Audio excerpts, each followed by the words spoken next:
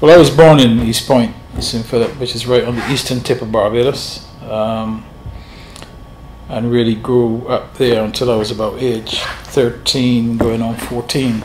Um, St. Philip is a very rural area, but it's right on the coast where I was um, in East Point. So I spent lots of young my young days running around in plenty of open spaces. Say, as a result of your parents going away, you were forced to grow up. Grow up. What what caused that, and what do you think? Because some people might not grow up. Some people might just. Do you really think that's a result of your parents going away? Because some people might just lay back because their parents are not around, which does happen in some sense. Well, I think my, my case was slightly different in that um, my mother went away in 1955 when I was two years old. Um, so I was literally brought up by my grandmother and aunt and other aunts and other cousins. So really, my grandmother didn't just look after myself and my sister. I mean, within the household, you had I had an aunt um, who was in Canada. She had a boy there. My aunt who lived there, she had two daughters still living there. Obviously, myself and Margaret. And another aunt who was in England, she had two children there as well. Okay. So there were you know, six, seven of us that were brought up at the same time. Um, so really, the only unfortunate thing was that it was a when I say unfortunate, I don't mean that in a bad sense, in that it was a household of all women. so um, there were no there were no adult males once my uncles had gone abro- had gone abroad. So basically, we were brought up by women. Um, so there were three boys, myself, Andrew, and Edward, um, who were all grands but we were boys, so it was like, so a lot of influence really was female because they were the, the dominant partner in the house. Okay. Um, saying that, if you don't answer this, just say so. But in many aspects of Caribbean society, some things are very matrifocal in terms of the household. Do you feel that it has I don't really want to ask you because it feels like I'm asking a question that I shouldn't be asking. But do you feel like it's had a negative impact on society, or do you uh, do you, is it a thing where? Yeah, that's my question. No, well, I mean, I, I- can speak for my for my case. Um, I mean, for me, it didn't have a negative um, impact on, on certainly in my case because I mean, my, my, my grandmother was a very dominant um, lady, small in stature, very small, but you know, fierce, fierce, and um, really to us, to her, you know, we were her children, and she did everything that was needed possibly to make sure that, you know, we got what we needed and we were looked after. So, from that point of view, there was no fallout from my part in relation to having a male um, as, a, as a dominant partner in the house. I mean, I think she made up for a male. Um, I don't think a male could have been any stronger than she was, an extremely strong lady. Okay, alright. So um, you kind of talked about um, East Point being a rural area. So it was very enjoyable, I guess, growing up in that because you had space, or maybe. Yeah. Yeah, yeah. I mean, I mean, for me, I mean, I still go back there now when I when I need to recharge my batteries. I mean, up to Saturday night, I was back there where all the boys that I went to school with every Saturday they meet at a certain point. Even though I'm not there every Saturday because I'm involved with sport and such, but when I get the opportunity, I go back. Saturday, I went back and we just meet up and chat and whatever. So it was that sort of a place. I mean, it's, I said, it's very rural, so you know, you're a long way away from town. In those days, it would have been an enormous distance because obviously transportation wouldn't be so readily available. But it was a fantastic place in terms of open spaces. You know, the houses were not close together, um, right by the beach. Um, you know, so it was a fantastic time, and I love my childhood, and I really would not have wanted to be anywhere else because, you know, it was, you know, you were safe, it was open, and it was a real community feeling. People really looked after each other. You knew everybody in the community. They knew you. They knew your grandmother. Um, you could not walk the street and misbehave because somebody knew your grandmother and would speak with your grandmother. So for me, it was a fantastic time. Okay. All right. So, um, what? How did you get involved in cricket? That's my really good Um, to ask you. That's a very interesting question because I, I, I I've tried to ask myself the same question: and why was I so drawn to this game, and, and when did it start? And the, the honest truth is, I really don't know. Um, what I do know is that I, for some reason, had this, you know, this great love for this game. Um, being one of the, I guess, one of the younger boys in those days you know, the, people who played informal cricket um, to any standard were generally the bigger boys in the district. Um, I was a small, I was one of the small boys, but I just had this interest, and I would always be around them watching, you know, sitting down watching, watching, watching. And I guess after a period of time, the older boys must have decided, listen, this youngster like he's really interested in this in this game. Let's um, let's get him involved. So, you know, initially they let you field. You know, just come and be a fielder. Um, that's how it started, and then as times develop, you know, if if they're shorter players, you know, they give you, you know, you bat last and whatever. But for me, even while that was going on, I kept going back. I kept going back all the time. So um, then they became very interested, and um, you know the love just increased. I I really don't know how it started, but then I would obviously play as often as I can with my peers. You know, we play informal cricket with all sorts of of things. So. You know, it, it, it's, it's a question that I've asked myself. I'm looking at your face, but I think looking at your face, I'm making an assumption. It brings back a lot of positive memories. Us like it feels Well, it does. It does because it, it, it, it, you know, it is how it started. You know, it is. It is not that I was packed off to a camp to be taught by a coach. Um, you know, as part of some grand plan. It didn't. It wasn't like that. It was 21st just. century. Yeah, it, was, it wasn't a twenty-first century development. It was just something in the game just sparked my passion. Um, and then, obviously, once I was into the game at primary school, um, at St Catherine's Primary School, then we would get um, a coach would come, I think sometimes once a month or whatever, and those coaches were Seymour Nurse and um, Charlie Griffith, who were established West Indies players. Um, so they would come once a month as part of the National Sports Council coaching program. Um, so that's something you look forward to. And then I guess to back up what they did. Um, coming from that area that I came from in those days, um, technology was not. Technology was very scarce in those in those regions, and when I say a, a thing like a television was a was a gold dust. I mean, the area that I lived in, which if I take from Merricks to Marley Vale, it will take you 10, 15 minutes to walk. So it's quite a big area. Within that region, there was one television. You know, there was one family that had a television.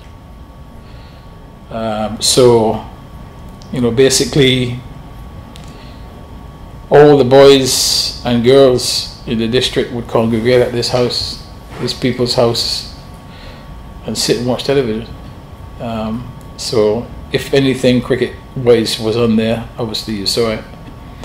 But the government used to also once, once every few months, send around something called a mobile cinema, and they would come to the school, a big van with a big screen, and the whole district would sit on the ground on the pasture at the school, at my local school. But part of that mobile cinema's night was, you know, the usual, you know, Bud and Lou, uh, and but there was also there was also a cricket They would show cricket, a test match, Okay. a famous, a cricket that involved the West Indies team, always. So, you know, that, I guess that sparked the desire to want to be an international cricketer by watching Rohan Kanhai and So my cousin Basil Butcher and others on the screen. you kind of made that decision from early. Yeah, yeah. Okay. Right. Yeah, from I mean, I, I didn't know how. I mean, I, I from a young, very young kid, I I just there's two things I wanted to achieve. Um, I either wanted to be a pilot or a cricketer, but cricketer first. But how that was going to be possible didn't even cross my mind because you know the region that I was from didn't have a history of producing um, international cricketers, so it was just a dream. So I would ask you. Oh, did, so did you have much contact with your cousin Basil Because he was uh, from. Well, no, no, I, I, I didn't because he he was born in Guyana. His his, his father, obviously, is from our, our region up there. His um, my grandmother is his father's aunt, so his father had moved to Guyana, um, uh, married, and obviously stayed in Guyana. Had Basil and the others, and that side of the family developed from Guyana. Um, my grandmother actually did go to Guyana. She went there with um, to work with it. She, she was working with a doctor who left who left here to go to Guyana. So he took her with with him to Guyana, but I don't think she really liked Guyana that much. So when he was then having another posting, he was moving to the states. Um, she decided that she wasn't going to go; she would come back. So she came back to Barbados. So hence, everything else stayed this side. But um, could have been Guyanese. Could be. um, which is interesting because I know between the late 1840s and early 1920s there was a lot of migration from Yeah. Barbados to Guyana, and what made me laugh is that like nearly in the early 2000s there was a lot of Guyanese migration to. Well, we won't get yeah, yeah, yeah. they, they were they were a little bit more accommodated than we were. um, so who was your biggest support? Because or was it just an intrinsic desire? Um, I would say it was as intrinsic desire, um, and and I guess your peers really. I mean, the bigger boys, I guess, in the district, um, who's you know who you know saw, hang on, you know this youngster wants to be involved, so then give him as much opportunity as possible. Um, my household, as I said, was female, so really, in those days, females were their main thing was about education. sport was um, sport didn't come into the, the equation at all, you know. So, um, you know, my grandmother, as I said, she was a no nonsense woman. She she she didn't mind you doing sport or anything else, but you know, first of all, your chores had to come first. So, if it was getting water from the standpipe, if it was feeding the, the sheep and cows and bringing them in, and once you've done all that, um, you know, you can go off and, and play your sport. But in the early days, obviously, I, I, I was so keen on the sport that sometimes Took a back seat. those things were left behind, and obviously she would not be very pleased because her main thing was, um, I guess, to teach you that animals can't look after themselves. You know, you, you must have the discipline to, and once you're given the job to do, that must come first. So sport was never, I wouldn't say that they tried to, to stop me from playing, but they wouldn't understand what the sport meant um, to me. Because to them, like the typical Barbadian at that time, sport was sport. Uh, and nothing more. Um, so you get to the age of 13, 14, Yeah. and you kind of get that letter or call I don't know which one it was, whether it was a letter or call, but you know that you're going to England.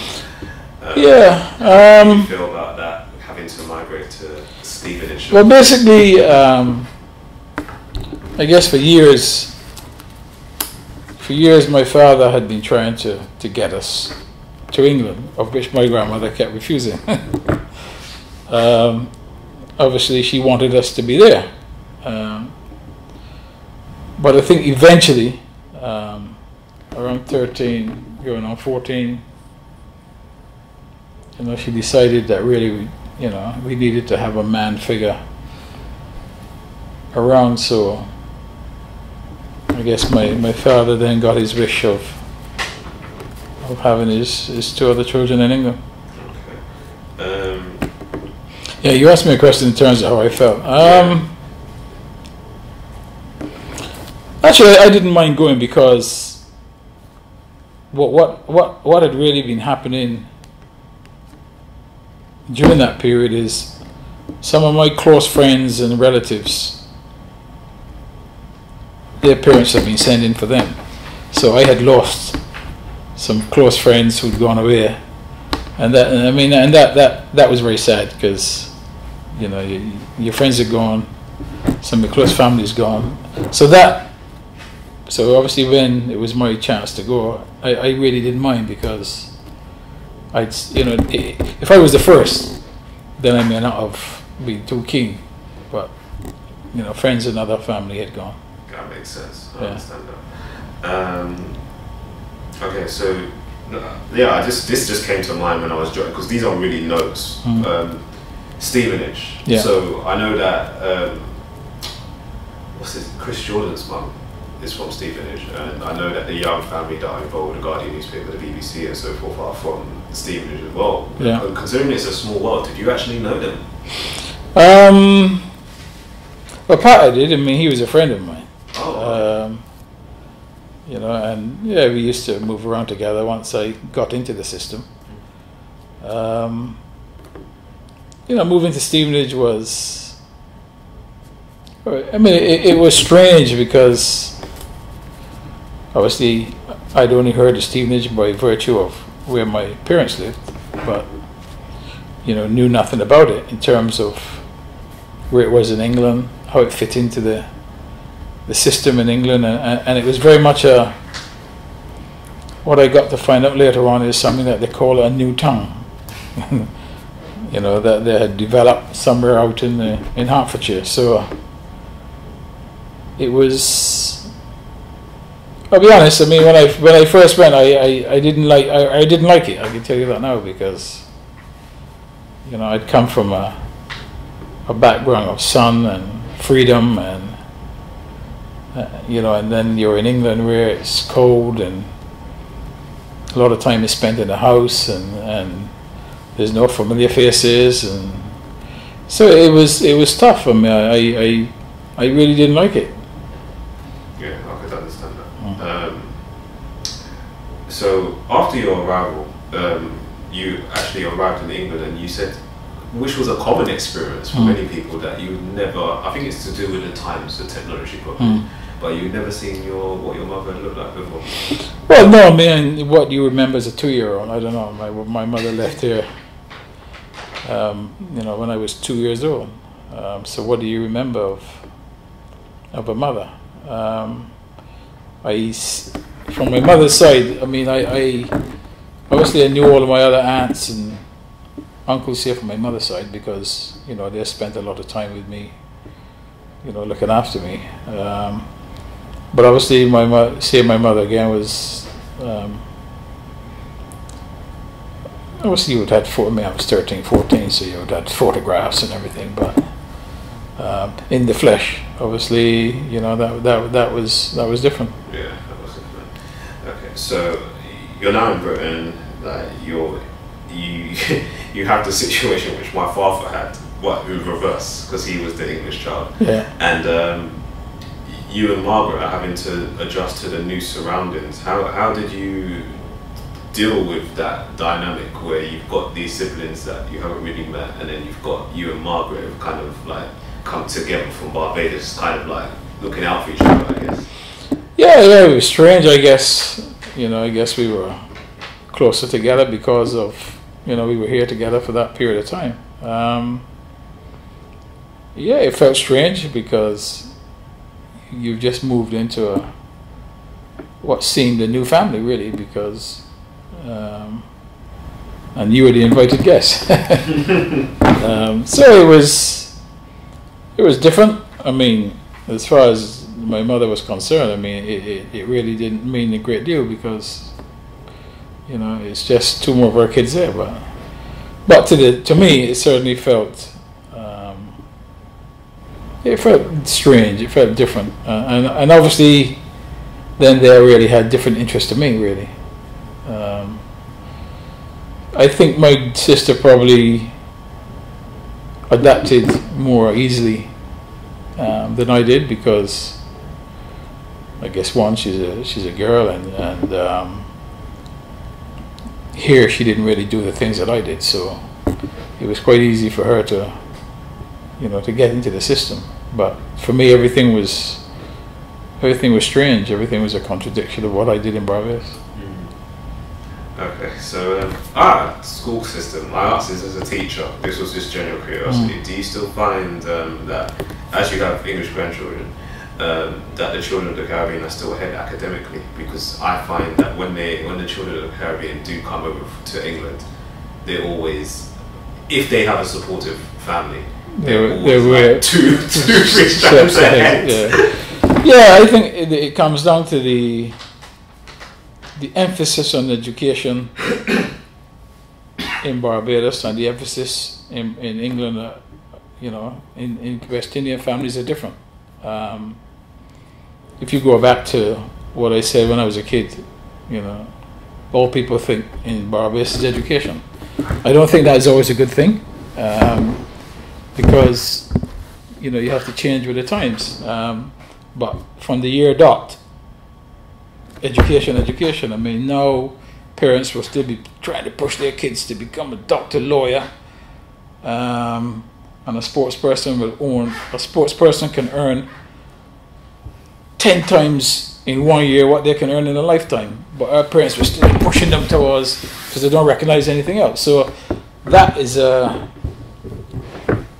that's a cultural thing, I guess maybe um, from from the slave days when you when you know once you got out of slavery, you know you try to educate your kids and um, but it's yes yeah, so it's good and it's bad. Um, I mean it was noticeable obviously when I went to England. Um, I remember I couldn't go to the secondary school where my my two sisters and two brothers in England who, who were born there because they had they had the I think they had the quota in terms of numbers for the school.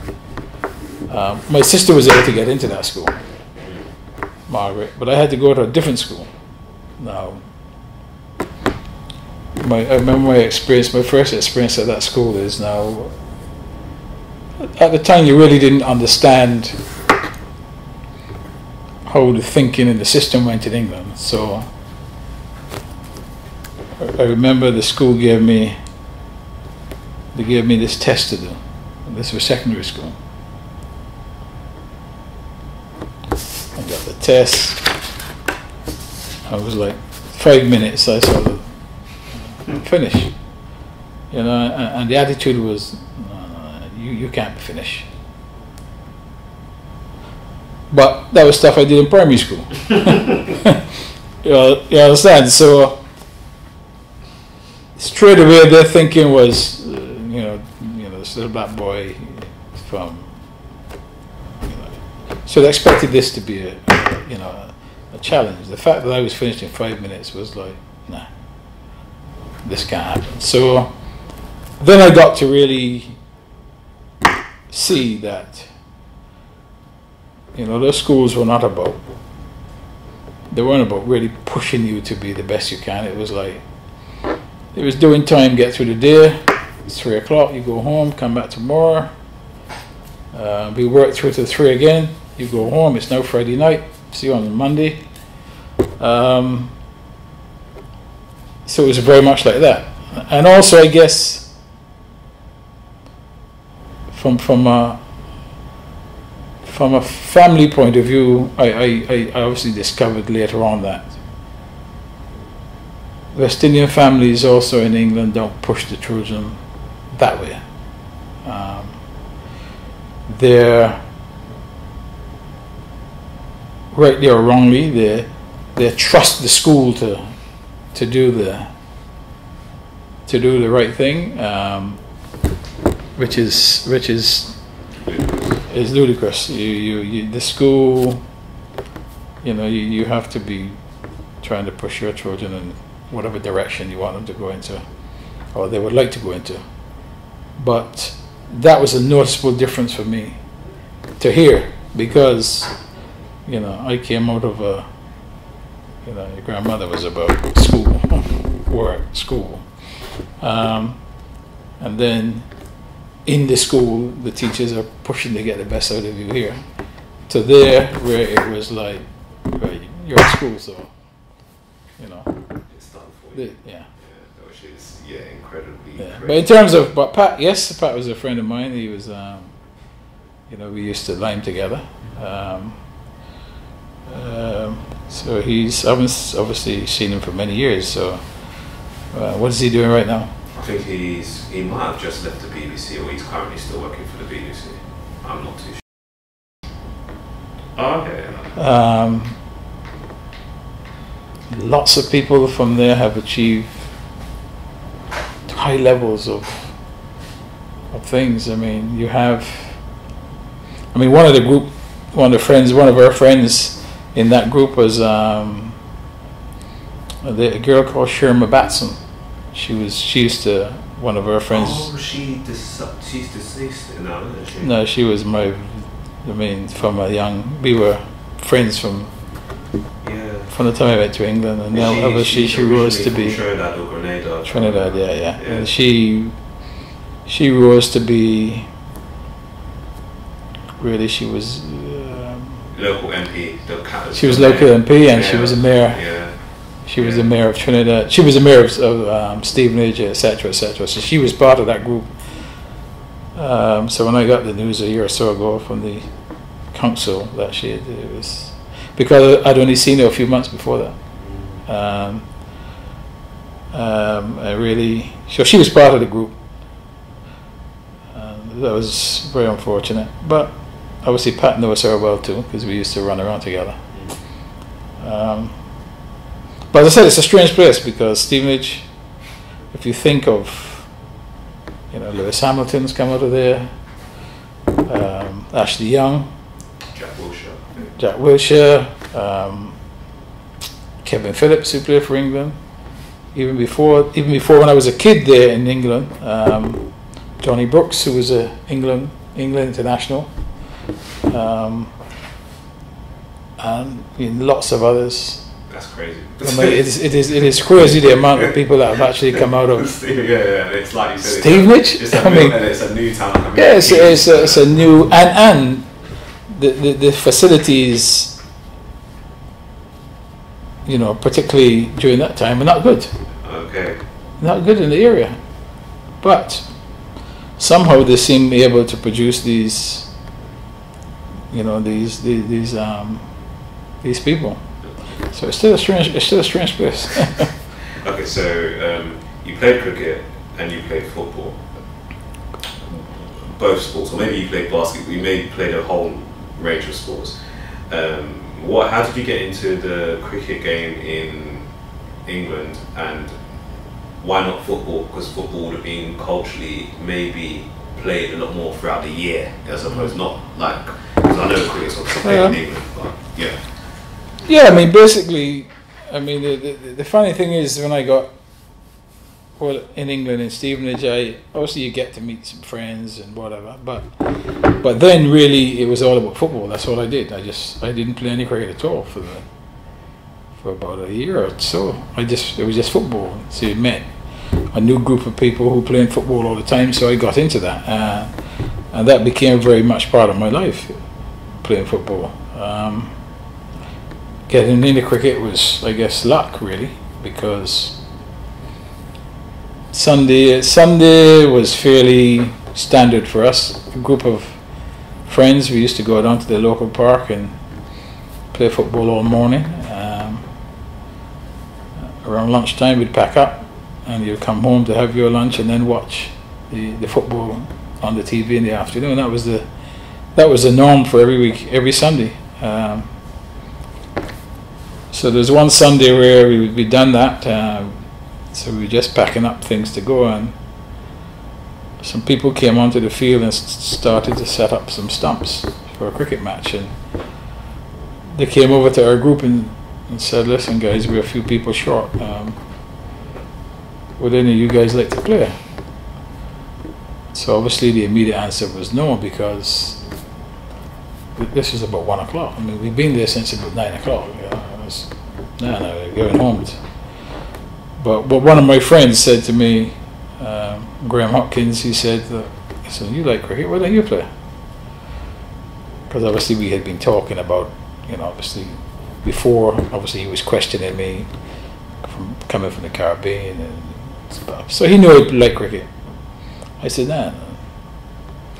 But anyway, he persuaded me to play. So I, I, sort of went, ran home, got a shirt, came back, played. Didn't do anything great, just I took a couple of catches and a couple of runs. You know, and then they said, look, um, after the game, you know, we got another game next week. I mean, would you like to play? This was for Stevenage third eleven. So eventually I, I, said yes, and I came back and played, and and then very quickly I was in the very quickly I was in the second eleven, um, and then um, obviously did pretty well there, and I was picked in the first eleven when I was fifteen or something.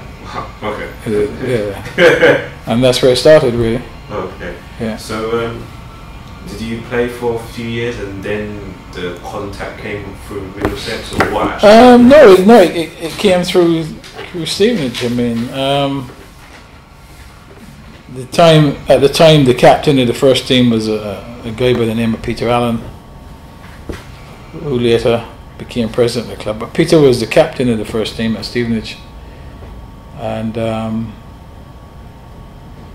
obviously he, he saw me play in the reserves, etc., and wanted to elevate me into the first team. And obviously, I mean, Peter has said this recently. You know, Peter was called before the board to explain why he was playing. You know, this youngster at 15 in the first game. Um, but also remember in the first team there was a there was one West Indian guy called Cam- Cameron Grant. Um, Barbadian. Uh, so, so he sort of like took me under his wing and, and, a couple of the other people. So I said I played as you know when I was about fifteen. And really, it um, it came about because within the club and the team there was a, there was a guy by the name of Cyril Hammond, and um, Cyril Hammond was moving, he was leaving Stevenage to go, he was also into football as well. He used to be chairman of uh, Biggleswade Football Club, so he was a real sportsman. But he was leaving Stevenage to go to Gloucestershire to work for Gloucestershire County Cricket Club. Um, so when he went to Gloucestershire, he recommended me to the club because obviously what he had seen, he, he, obviously thought, well, so he recommended me to Gloucestershire County Cricket Club. Uh, so on the strength of his recommendation, um, they invited me down to Gloucestershire to to play with during the summer with the youth team. So I would spend the whole, whole summer. This would have been summer of '68 and 69. So I went to Gloucestershire, I would spend the whole summer. Um, I would live with him, you know, and he and his wife Gwen, you know, really were great people. Um, you know, they did everything washing, cooking, didn't have to. I'm no family to them. Um, Um, these were English. These were English people, um, and they really, I mean, they they they they made sure that I didn't want for anything. Um, so they took me into their house, and I would spend the whole summer playing cricket with the the youth team. So 68, 69, what they decided during the summer, the the boys, the young boys, used to come from all over the place, and they used to they used to actually sleep in the, the pavilion at the county ground, um, in the dressing room. So they had sleeping bags and TVs, and, and the coach's wife, Graham Butcher, would come in in the morning, you know, cook breakfast for all the boys and everything, and and then obviously then they go off and play their matches during the day. That was all summer. So the 69, he said, look, you know, I think it would be good if you stayed with the boys and get part of that. So I stayed with the boys in 69 and some of the boys that I stayed with then, now we're still very close friends. Some obviously became um, first class cricketers the same as myself. People like Andy Stovold, um, who played for Gloucestershire for a long time. To this day, we are still. Um,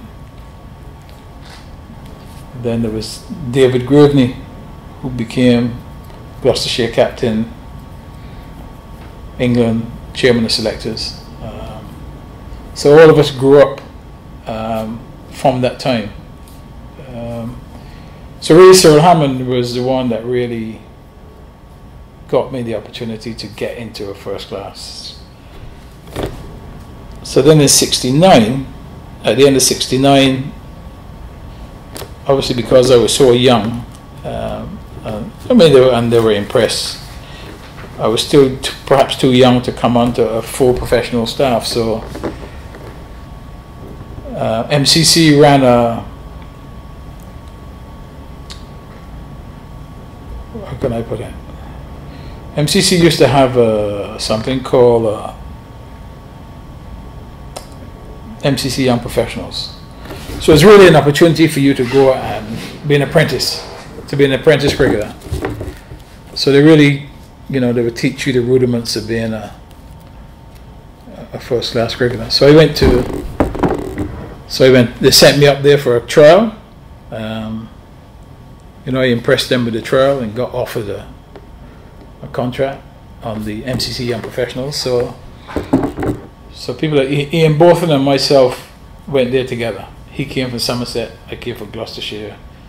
Other people came from other counties. Other counties. Um, so I was there for 69 and 70 as a young professional. And as a young professional, what you did, um, you had two. There were two levels when you first come in, there was an A staff and a B staff. And the A staff basically was a pecking order. The A staff were people who'd been in that system for a while and obviously were the you were no you were a new boy. So a new boy no no new boy started in the A. And there was a difference in pay too. So I started in, in the B, so both them and myself started in the B. The A staff, fortunate for me also in the A staff, that the head boy was also from Stevenage, a fellow by the name of Bill Jones. So he was the he was the head boy of the in terms of you know he'd been there the longest and he was the and then I also had um, for those two years you know two terrific coaches different in their ways um, a guy by the name of Len Muncer who was ex-cricketer um, Len was from, he's a Welshman, and he, at that time, had a, he ran a sports shop just around the corner from Lords, but he was the head coach of the M- MCC Young Professionals. Uh, and he just took liked me and took me under his wing and looked after me and made sure that I got wherever I wanted and everything. And then the other one was a fellow called Harry Sharp, who was an ex Middlesex player. Um, later on in life, when I was at Middlesex, Harry came back as a scorer for Middlesex. But Harry Sharp, different to Len. Len was more gentle and you know, and Harry Harry was a very straightforward guy. There was no great, but a really nice guy. So those two guys looked after me um, for those two years, 1969 and 70. Um, and obviously being at being at Lords for that period, um, you know, it gave Middlesex the opportunity to to see the players. Um, so Middlesex um, offered me a contract, a three-year contract in 1970 to to be a full-time professional. Now, what I didn't realize at the time was that really I, I had an obligation to Gloucestershire because those, those are the ones who sent me there. But because, obviously, because of your desire, my desire from a kid to be a, a cricketer, suddenly here was this opportunity. Um, and nobody to, I didn't have any mentors or anything to, so obviously, you know, take it. Um, Gloucestershire, obviously, once they found out, were not too pleased. Um, and quite rightly so, because, you know, they had invest, they had invested in me. Um, but I think going to Middlesex proved to be the right move. Um, uh, and in actual fact, I, I then scored my very first first class hundred against Gloucestershire, which was a bit of a, which was not a nice thing, but. But I think that you know everything's for a reason. So the move was the right one because as my life and career developed, it, it proved that you know it, it was the right thing.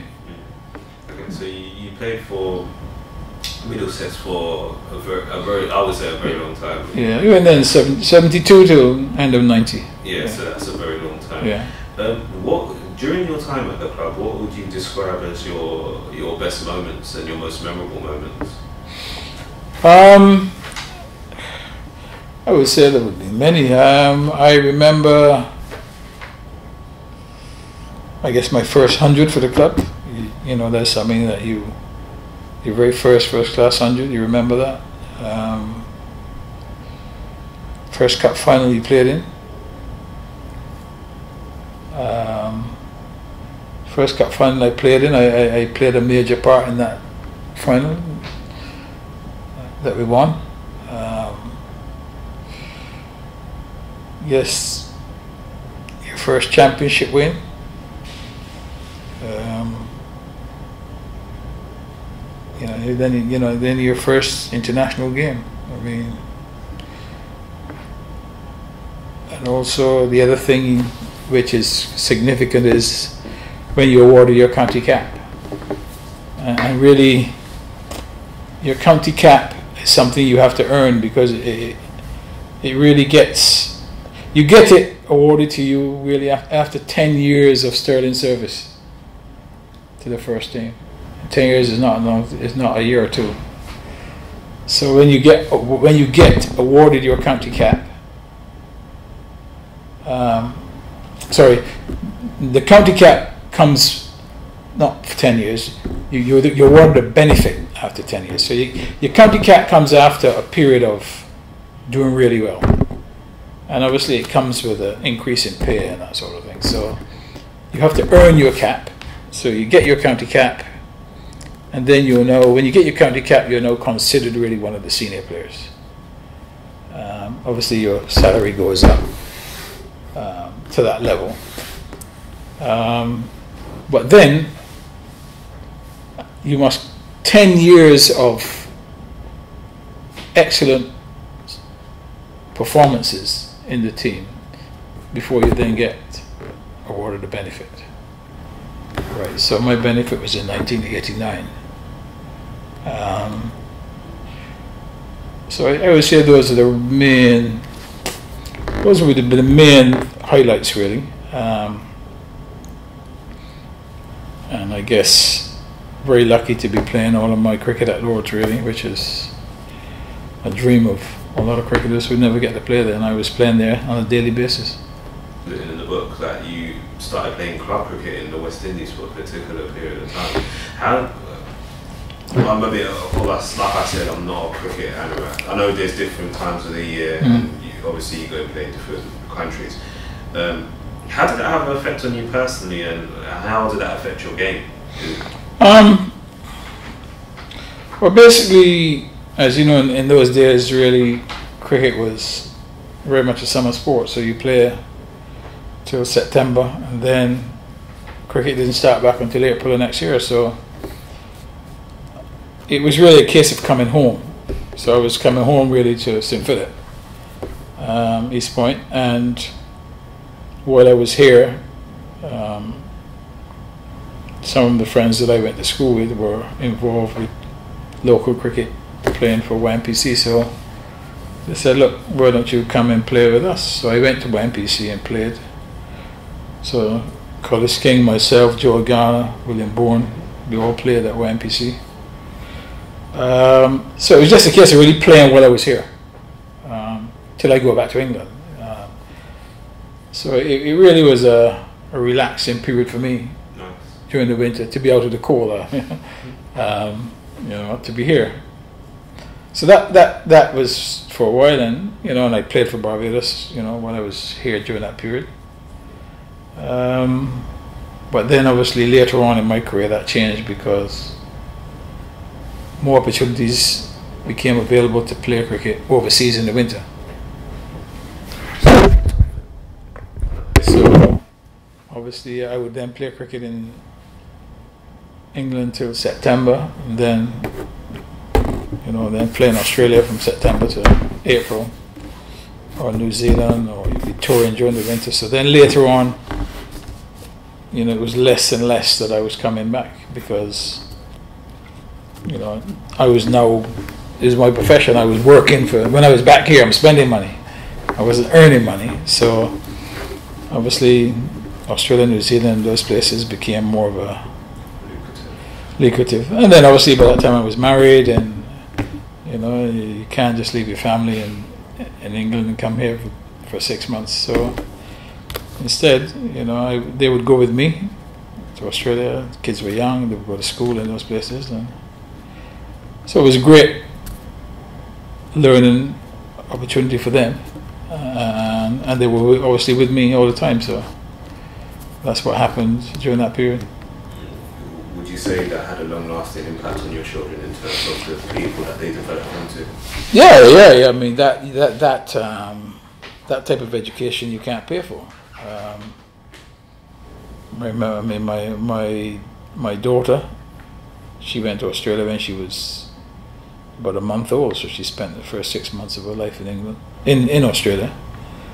Um, obviously, my my son he went to school there. Then later on, when we were in New Zealand, they were older, so you know, I went to school there for the six months. So those sort of experiences of and different cultures and different peoples, you know, they, they traveled with me to India and other places, so they saw different things. So I would hope, and I know that those type of experiences have formed, um, you know, their their characters later on because. Um, you, you have to be in those places to really experience what it what it's like. Um, you know, if you just stay in England, you just see everything from that point of view. So the experiences for them, and and, and the schools recognize that. You know, it would be really good for them, and they and they sort of never ever attempted to stop them from going. They encouraged them to go. That you know, it was something worth doing. Oh, so you got support from the schools. Yeah, yeah, yeah, That's yeah, brilliant. yeah, wow. sure, Because yeah. you know these days, you take your Take it. child uh, out for five minutes, they want to call the police. Yeah, yeah, no, no, no, no. They, they, they felt that the, the experience would be would be greater than Yeah. yeah. Okay, so going just touching a bit more directly back on cricket, who would you say are some of the best players? It doesn't have to be the best. I mean, it could be because you know not necessarily the best players make the best team in any sport. Um, who are the most the players that you enjoy playing with uh, with the the most or playing against the most? Well, listen, I, I, I was very fortunate within my my cricket career to play, you know, with and against, you know, some of the great cricketers of all time. Um, you know, at Middlesex, obviously we had some great players. Um, Mike Brearley was a great leader. You know, we had Mike Gatting, uh, Vincent van der Bijl played one season with him as South African. Uh, towards the end of his career, one of the best bowlers I've ever seen. You know, Wayne Daniel, Fred Titmus, Phil Edmonds. You know. Um, you know. It sounds a bit like you, if you keep mentioning names, you don't want to miss anyone out. Is that the amount? Well, just, yeah, I mean, there's, there's so many you, you, you can't miss. You know, yeah. um, you know, I enjoyed my time at Middlesex. You know, we had a great time. You know, Surrey, you had Sylvester Clarke, who was Barbadian, you know, Waqar Younis, a great Pakistani, Intikhab Alam, great Pakistani. Essex, you know, Graham Gooch, great player, Keith Boyce, Barbadian. Um, and then Kent, you know, you had you had some of their great players, Pakistani, Akis, Asif Iqbal, you had Derek Underwood, Alan Knott, great England players. Then Hampshire, you had Barry Richards, superb South African player, one of the best cricketers ever. Gordon Greenidge, Barbadian, Malcolm Marshall, Barbadian. Um, you know, Gloucestershire, Mike Procter, South African, Zaheer Abbas, who I spent time with as a youngster at Gloucestershire. You know, you come to Somerset, you had Ian Botham, Viv Richards, hmm. Joe Garner, wow. Sunil Gavaskar, Martin Crowe, all those guys played against them. Glamorgan, Majid Khan, Northamptonshire, Sarfraz, Nawaz, Warwickshire, you know, you had Rohan Kanhai there, Dennis Amiss. Worcestershire had some great players, Basil Oliveira, as you know, for South Africa, Graeme Hick, Glenn Turner from us, from New Zealand. Leicestershire, of course, Andy Roberts from Antigua. Um, they had Winston Benjamin there as well. The Lancashire, you know, Clive Lloyd, Michael Holding, Colin Croft. Yorkshire, you had Geoff Boycott, you know, one of the greatest players the game has ever seen. Illingworth, Raymond Illingworth. You know, then at Sussex you had Kepler Wessels, Imran Khan, who's now Premier of Pakistan, Javed Miandad. And then at Nottingham, Nottinghamshire you had you had Richard Hadlee, one of the greatest bowlers ever, Clive Rice, Sir Garfield Sobers. Um, uh, Derbyshire, Eddie Barlow, South African captain, Michael Holding. So the list really goes on. Yeah. These are just some of the names of the players that you know I've played with and played against. And then obviously, you know, the England team that I played in contains some of the greatest players England have ever had. You know, you had Gooch, you had Boycott, you had David Gower, you had Bob Willis. You know, you go down the line. Um, it's, that's a that's just to me that's just amazing the amount the caliber. Like, yeah, yeah, yeah, yeah. I mean, those so those are yeah. exceptional world class players. so I think it's probably more. It's not just being playing against those players of the caliber. It's knowing that you're of that caliber or even better as well. Which is probably a, one of the things that you'll take to the grave. Hopefully, the grave is not. well, yeah, yeah, but no, you, you, you, will take it whenever, whenever it is. But um, no, you're right. I mean, and and we conquered all of those all of those players during that period because within that period, Middlesex were by far the more successful side. Um, you know, you know, during my period, we won about six championships and six one-day cup trophies. So you would have conquered these all of these players here during that period. So you know, it was very satisfying to be able to do that um, and to be part of a team that achieved that type of success. 1981, a very significant year for you, I would say. Um, been playing professional cricket for 12 years, if my calculation is correct. Well, the, I, I, I made my debut in 74. I joined Middlesex in 72. Okay. I played my first game in 74. Okay. And, um, well, in 1981, even I think there was some suggestion by your wife in the book that maybe you should have played it earlier. Well, I did, but I played in '80 actually. Yeah. I, I, I, my first game for England was in 1980 um, against Australia.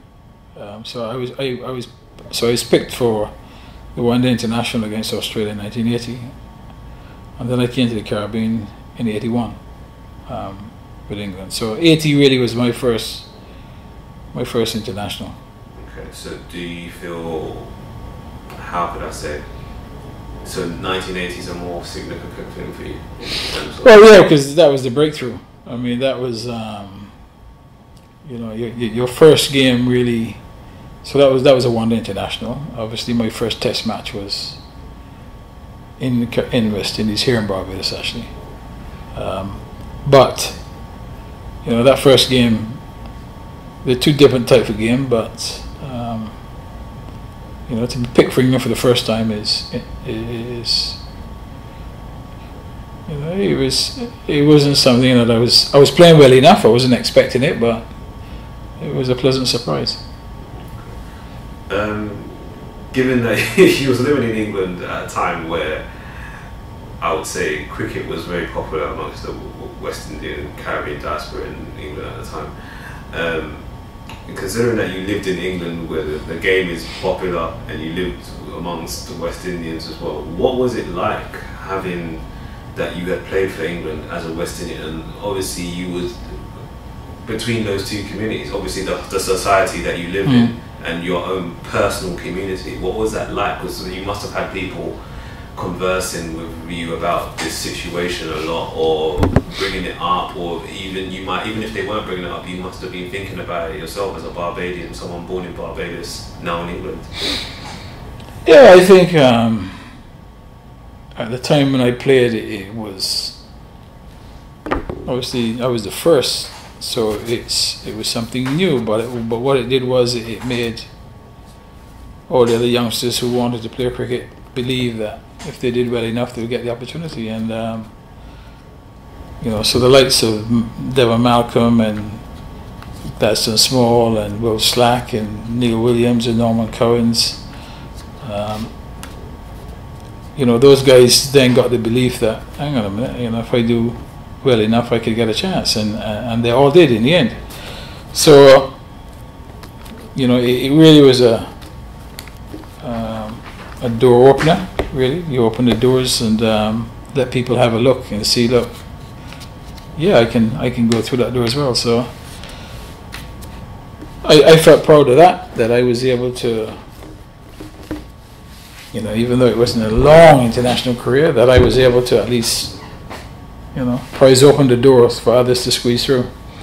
Um, at that time, I guess there were a lot of people of West Indian heritage, youngsters of West Indian heritage, and some youngsters born in England of West Indians who really looked at cricket as a something important, and their parents did. I can't say that's the case now because um, I would say most most of the people of my kids' generation has no affiliation with the cricket born in England. None whatsoever. Um, but you said um, if they have got any affiliation with anything, it is it's with football. But during my time, it was during the period of great dominance by the West Indies. So people who had migrated from the Caribbean with the love of cricket was the dominant performances by the West Indians really kept them alive in England. Um, kept them alive. It kept them alive. Um, you know, it, it also made their lives a little bit more tolerable. Um, then I guess before that, real life was very hard for the Windrush, the Windrush generation. Um, but the success of the West Indies team made people, you know, hold their heads up high and and felt proud.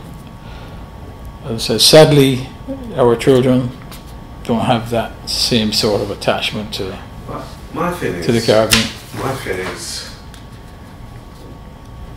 what has caused that because some people, funny enough, I was listening to a radio station in Antigua, Antigua Observer Radio that I listen to now and again.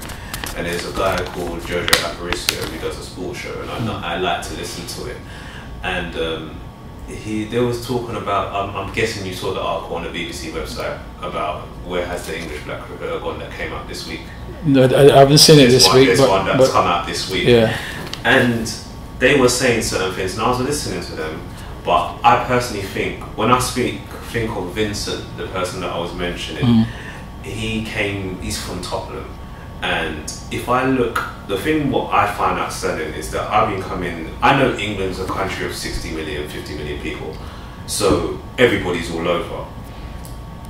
I've seen sports stars from various sports, but I've hardly ever seen an English cricketer in close proximity to wherever I've been socialising or being about. Yeah. But I've been to the Caribbean, I've seen Curtly Ambrose walking down the road, I've seen Richie Richardson, I've seen Junior Murray, I've seen loads of people walking down the road, just normal people. I understand it's a smaller island. Yeah, yeah. So I think my personal opinion is partly to do with the class system. I might be wrong, or is it just a thing that we, not my generation, because I would have, I was born in, so it's a bit different. Um, was it just football was just so overpowering and so, or was it accessible because it was just a ball and you only had to buy a ball and play in the street? What what caused that? Because Well, I think, I think, yeah, football is accessible, as you said. You, you just need a ball. You don't need a lot of space. Um, and as you know now, um, you know, space is an issue in, particularly in the cities of, of, of the UK. Um, but you know, any little space they can still kick a football, even against a wall or whatever. So it is easy to get that. And, and if you're not getting the push from your family in a particular direction. You know, and, and West Indian families in, in England are generally concerned about work and survival. You know, they go to work to try and provide for their kids. They do not spend a lot of time. They don't spend a lot of time with their kids' pursuits. So the kid is left to his own devices in terms of what sport he's going to play. So the easiest and cheapest sport to play, and everybody else is playing, is football. So of course to get involved with that. Um, I think parental support or lack of is, is a real problem um, in England um, with cricket, and they don't have that attachment with the Caribbean. And what cricket means to the Caribbean anymore. Persons born in England. Um, they see themselves as English, as English. They're they're not au fait with the history of West Indies cricket and what it has meant, and you know how it started, how they got out, how they they they're not they don't know and, and they don't care. They- I don't want to stop you midway, but I feel I sense something when you were saying that. Is Mm. that a sense of just you analysing the situation, or was that a sense of disappointment, or is it just you being? Well, it is both, but I, I, I'm a realist and I, and I can understand how it's happened. Um, because once survival becomes your number one um, thing, you know, quite often you haven't got the time, you haven't got the energy, you're too consumed with doing two jobs and, and, and stuff to make sure that your, your family meets ends meet. So to then go out with your son and sit down with your son and tell him about how West Indies rose from the ashes to be this great domineering and what it means and what it meant to my father here in, in England who came here in the Windrush generation, discriminated against, and then the West Indies beating everybody all over the world, what it meant to him that he could go to work tomorrow with his chest pushed up and, and feel, you know, what, you know, and feel as a black man that he's, even if it's only for a day, he feels something. So parents do really don't have the time, and as I said, a lot of them don't really know the history either because they're born in England. They're not really they're English. They can tell you more about English history than the Caribbean. And another bad thing about a lot of our people are is that they're just you, you, you, uh, you'll have people that's probably never been back to the Caribbean for 20, 30 years, That's that's insane. you know? Yeah. so really they they they- so so they don't know what's going on they're not interested they, they've lost um, and that and that is a it just spirals on and on and on and on so I am not going to just say that I'm blaming them because circumstances you know can dictate what happens but it is much much easier and, and football is in your face day in day out you know so and they, and they market it extremely well. Now, cricket, as you said, because it's an expensive sport, it's, an, it's probably an upper class sport. Um, it is not marketed like football is. I mean, football is football is marketed to the masses. Cricket is not. Cricket is still you know, fairly reserved. You know, maybe we only want a certain type of person. Um, but you say, where the black cricketers? Very, very few. I mean, there's only one black coach.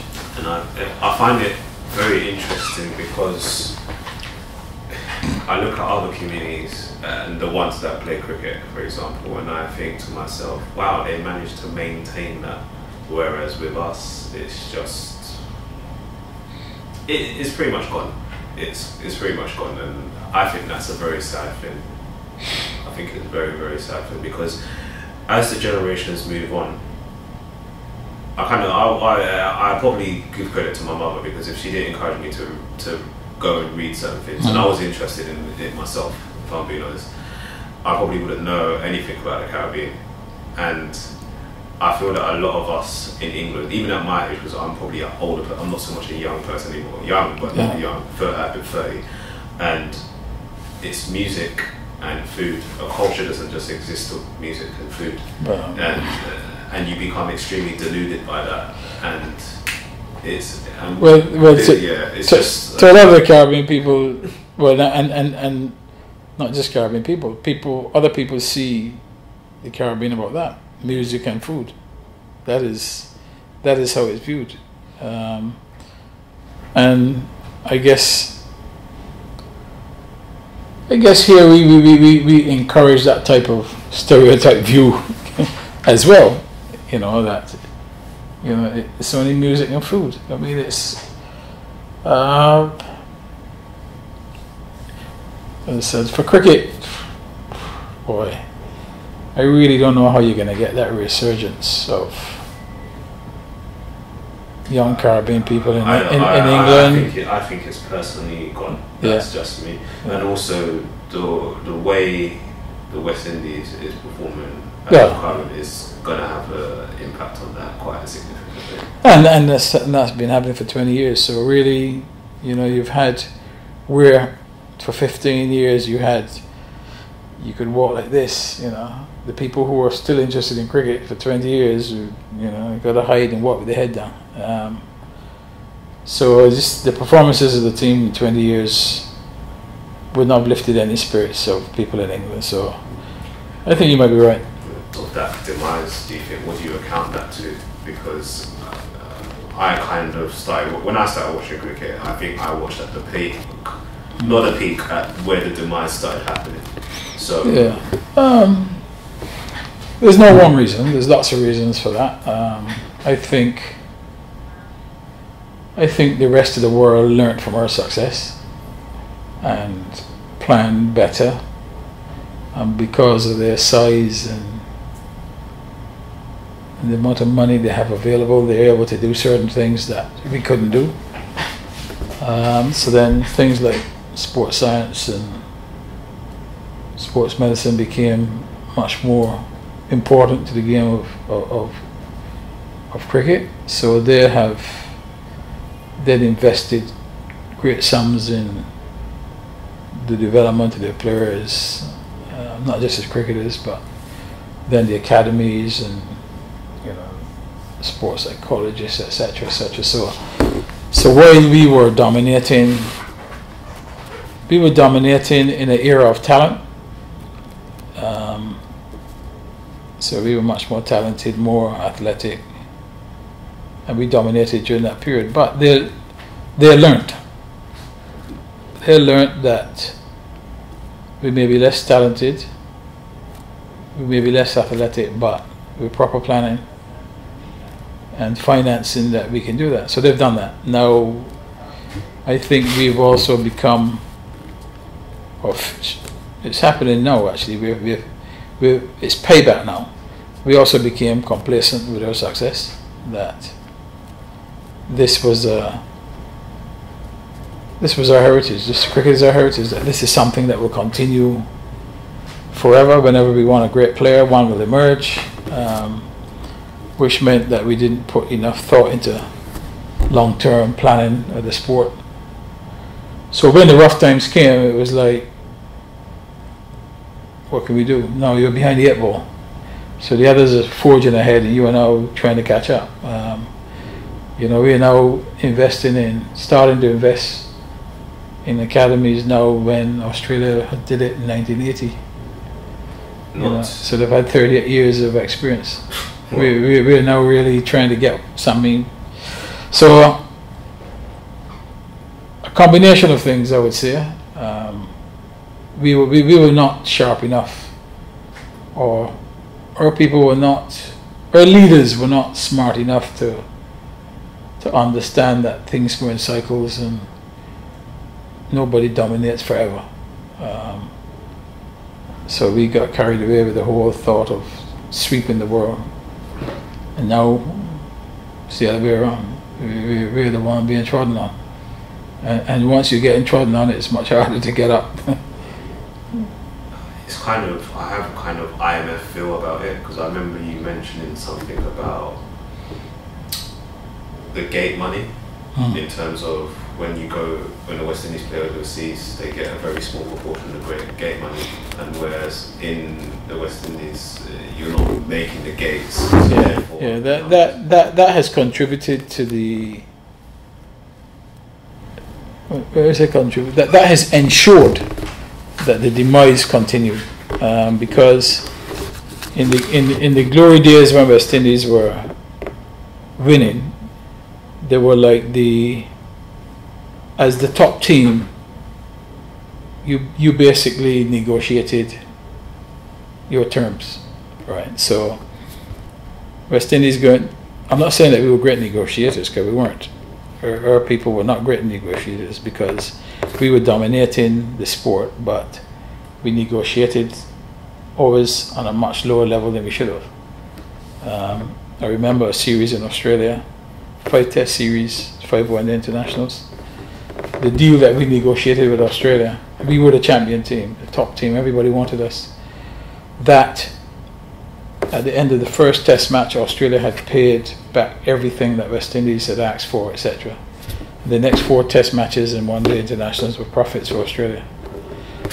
That was that was our negotiators not understanding what it meant to be number one. But in those days, that's what happened. You negotiated with the opposition. So you, you negotiate and you'd agree on what you get the tour. Right. Now, when that changed to become the future tours, something they call the future tours. Now, future tours now means that the home team keeps all the revenue. Right. So now West Indies go to Australia Australia have stadiums of 50,000 plus, paying Australian dollars, which is a strong currency. They keep the money. Australia comes to West Indies, and you get 5,000 people in Kensington Oval paying 10 Barbados dollars. And in Trinidad, some EC dollars down in Antigua, right? now, when those series are over, you can't even cover the the food bill or the flights or the accommodation. So Australia and India and those teams are making huge sums from every home series, which goes into their reserves. And we, we, we're scratching because we, we're not getting a share of. Where before, when you play in India, you negotiated, look, and you got a share of what? So the future tours has it's continued to harm us, um, and um, it's, it's made sure that we stayed. As much as they talk, it's made sure that you stayed on the floor okay. with no power at all. Well, um, I'm just going to move on to two quick things. Yeah. Um, Jofra Archer. Yeah. what do you personally think of that, considering he was raised in the Caribbean entirely, as far as I know. Um, he's going to wait out five years, it seems, or four and a half, if I remember correctly, to play for England.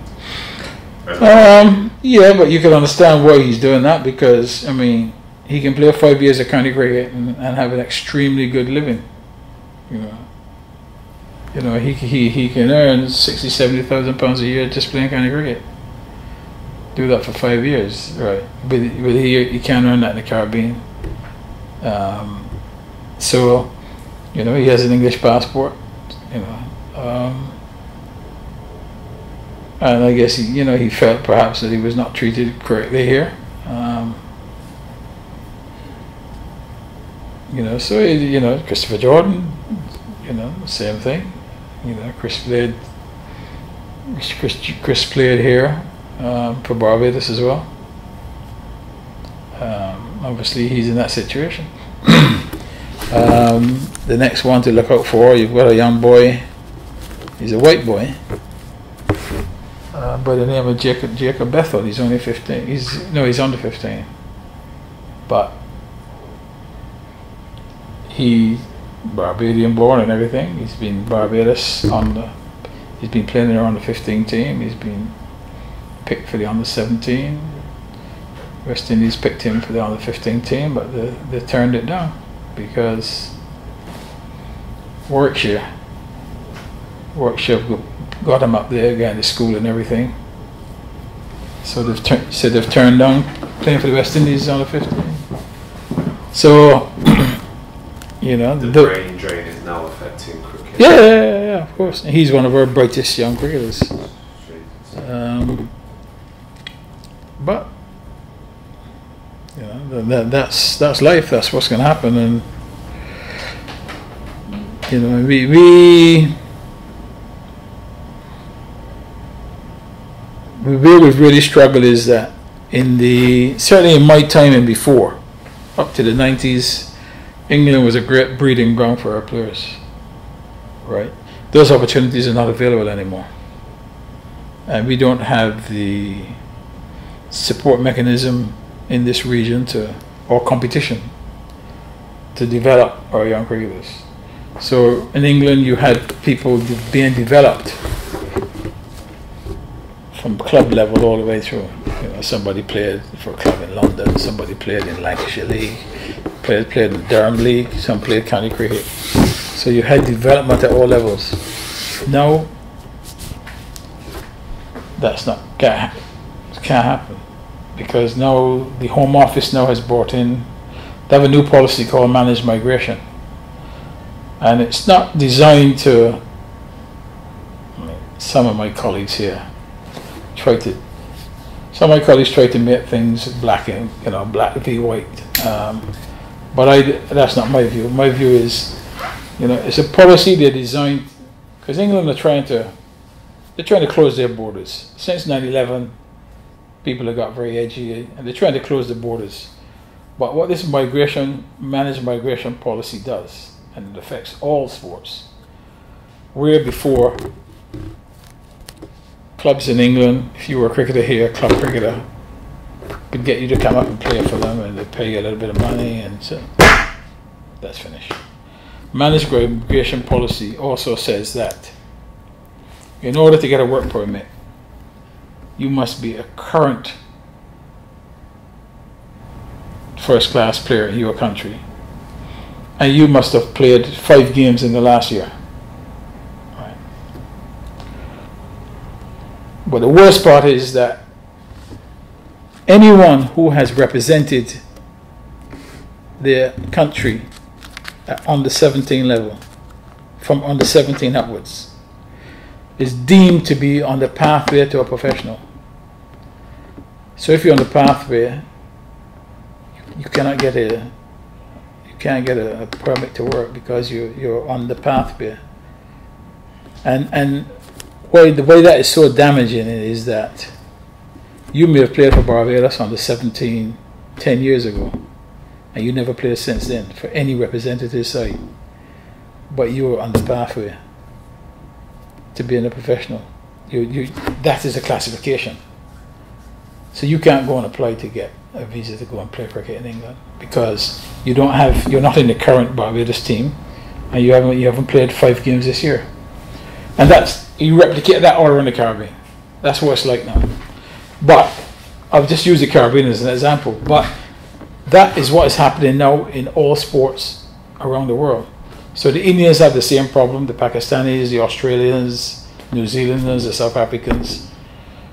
Um, so it, it's a convenient way for England to, I guess before they used to think, particularly in the West Indies case, we are developing you to then come and beat us. That was a, but we we don't have the resources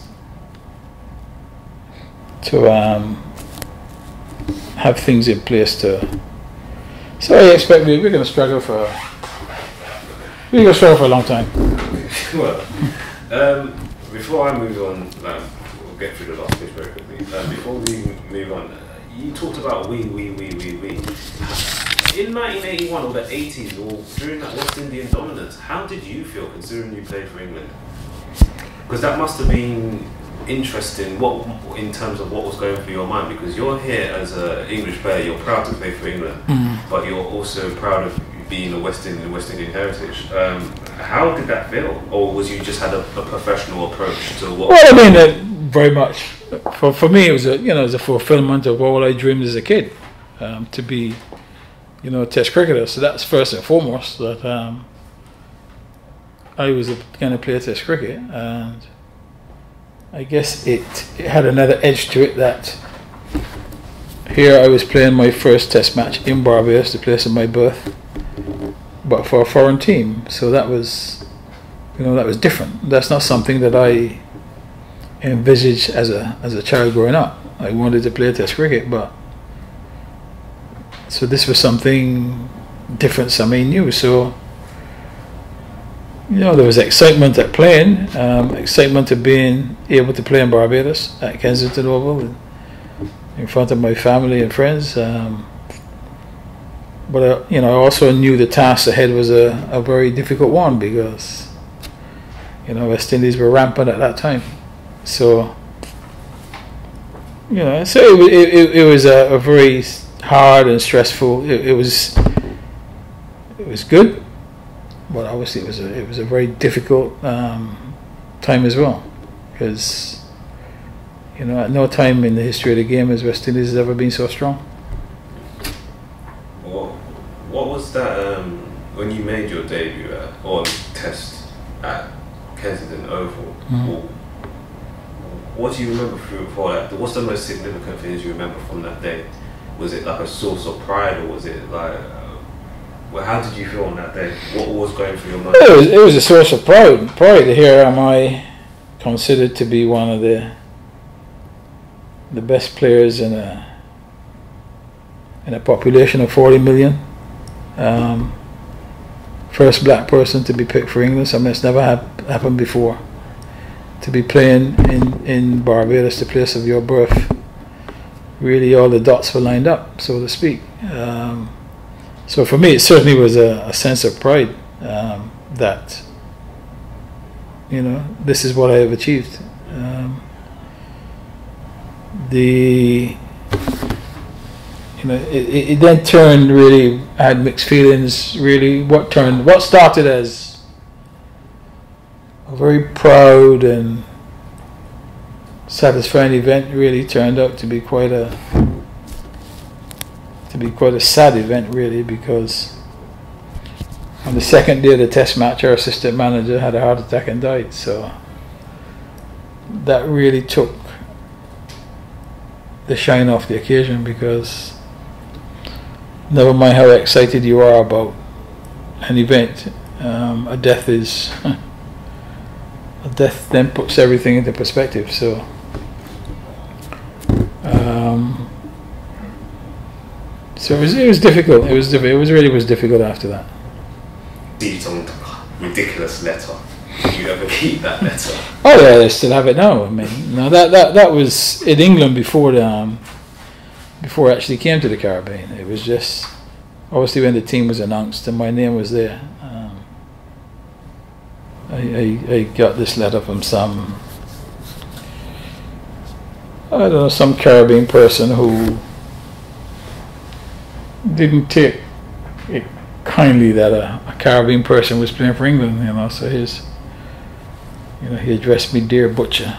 You know, um, he, he then accused me of dragging Barbados, drag, dragging black people back into the days of slavery. And then went on to say, um, Judas was paid 30 pieces of silver. How many were you paid? Which I found quite amusing. So I, I still have the letter. Um, but, you know, that, that, that was a one off Yeah. um, situation. You know, most people, most people viewed it as an achievement. But, but obviously, obviously he was, you know, it, to him it was more than cricket. Um, to this guy, so everyone to their own opinions. Um, there's a question that I posed that fortunately you achieved quite a lot in cricket, uh, but unfortunately you had a severe injury in 1983 regarding your eye. Um, what did it take for you to recover to and return to your high standard? Because I know from reading the book, it seemed like a very, very extremely frustrating period. Yeah, yeah, that was perhaps the worst part period of my career. That was, um, you know, the sad thing about it was that I'd played for England in '81, uh, so I didn't. Obviously, I hadn't played after the West Indies series. Um, 82, winter of 82, 83, I was in Australia playing for Tasmania um, with Michael Holding. We were the two overseas players for Tasmania. And What's this right, so, so 82, 83, and I was playing really well. I mean, uh, in Australia, I was playing well, and I came back, started the season in 83, and I was batting really well, and I felt that this was the time I was going to be recalled. I was in, you know, I was in tremendous form, and I, I really felt within myself, and the way the game was going, that I would, I would, this, I would be recalled for England this year. And um, I remember playing a game at Lords, beginning of July, and I really had an excellent season. And George Ferris, another Antiguan, uh, who's a very close friend of mine, George. You know, he just bowled a short ball, and I just went to hook, missed it. It struck me just right below the eye there. Um, and that really then put put paid to not just that season, but after that, because obviously then it, it affected my sight and stuff. So even though I was able to play, I came back in '84, and I was able to play another six years. It was never was never the same player again. So that that was that was a sad thing about that, and then it was and it was a long road back. I mean, obviously I was determined to come back because what choice did I have? I mean, I was a professional cricketer. Um, I wasn't a doctor or lawyer. I was a professional cricketer, so I had to find all means to, to, to get back and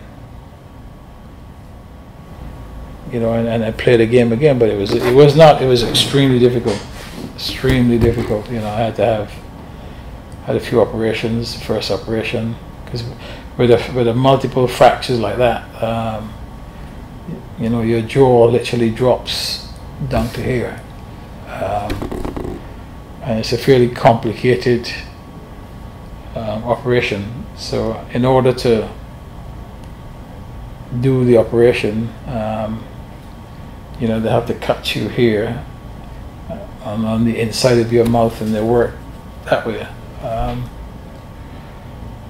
now the the first operation they did um, didn't work. Um, you know, so they did the cut and they did the operation, and they tried to wire the bones together, but it wouldn't. Um, it didn't work. So. So then they decided after that the next operation that they're going to have to do is um, they're going to have to pin it from the outside once they've done that, which means you'll have the steel thing around your head and it will be pinned from the outside. I remember going into the operating theatre and you know, that was the last thing they said it was going to happen. And um, when I woke up from the operation, obviously the first thing I did was feel for this. You know, and it wasn't there. Uh, you know, and I, at that point, I thought I was in heaven because I, I didn't, I couldn't feel this. So I panicked, And, you know, and sort of asked what happened. So they said, well, at the last minute they decided to you know, try the, the other one. So they didn't go for that. But, as I said, the result of that really was then, you know, loss of some of the sight in the eye and it was a long process back. Um, you know, you know. It's very interesting that uh, obviously that affects your health but it's something that happened a long time ago, and you're very still ref- very reflective about it. It's very yeah, because because for me it, it really it finished my international career, uh, and at a time where I was ready to re- resume my international career, so it was um, it was pretty devastating. It was you know, but I, I, I was proud that I was able to fight. Um, to get back on the park in, in, in, in 1984.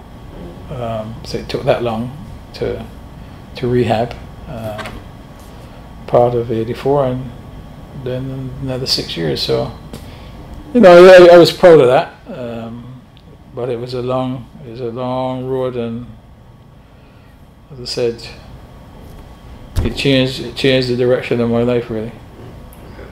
Um, I kind of want to get these type of um, questions out of the way, but the next one is unfortunately one of your teammates who has a sports ground named after him in Finchley, North London, Wilf Slack, yeah. passed away in 1989. What are your fondest memories of him from a sporting and personality perspective? Well, Wilf, Wilf, was my my best friend at Middlesex. There's no question. We were we were very close. Um, you know, we, sh- we shared a flat in Finchley. You know, we shared a flat in, in, in Hammersmith as well. So we were very, very close. We were good friends. Um, so it was shocking. Um, it really started in when he went to Australia with England. Um, was the first time it just happened. It just during the game, it just collapsed. Um, and they did all the tests in Australia, could find nothing.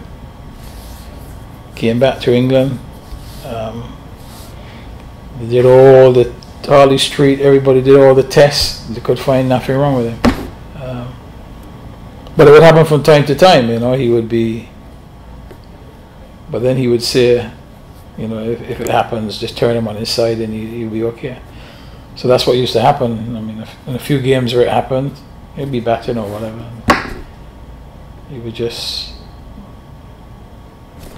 just fall over. So you would turn him on on his side, and within a minute or so, you know, he's fine. Got, and, he, and he goes. Um, but he went on a tour. He went on a tour to the, to the Gambia. Um, early 89. It was the same way my benefit because he was he was going to come back obviously to come to my first benefit function, the opening. So he was just he was just batting, played the ball, ran to the other end. There was a second run. He was turning for the second run, just went down on one knee and went over, and that was it. Then later on, obviously, they found out that really what the problem was was a blocked artery, and they said that if, if, if when he was passing out, that if anybody had, if they'd felt for a pulse, you would see there was no pulse, and then they would have known it was a blocked artery. But by the time a medical person always got from the pavilion to the field, he was he was always back up right? So um, obviously none of the players ever, they were not medically trained, never felt for a pulse. You know, just turn him on the side. By the time the physio ran on there, he would be. But that's what they said. If you'd felt, you realised there'd be no pulse, and they would have known it was a block artery, and then obviously that could have been dealt with um, quite easily. But that was a sad time for me because, as I said, we were we were. He was my closest friend in cricket for sure. Ah. Do you still feel that? I'm going to ask this question in a different way. Do you still like you feel like you're a bit of a, a perfectionist now? Because in the book you go on about how you was training very. As you later down your career, you actually realise that less is more. Yeah. In, in, in a respect, but do you feel you're still much of a perfectionist? Yeah, I- I'm a perfectionist in the sense that I do like perfection, um, but I'm also a realist as well. Mhm. Um, so I, I, I guess that's probably changed from being perfectionist now to uh, to excellence. I believe in excellence. If you're going to do something, you know, do it to the best of your ability, or don't do it. So that will never leave me. I, I don't like things being done half halfway. Um, so, in many sense, yeah, I'm a, still a perfectionist, but in a different way. Um, who would you say is the biggest? Who was the biggest support in your career? Actually, uh, you've kind of mentioned that quite a bit. You mentioned multiple people. Yeah. Was there anyone off the cricket field you would say? Um,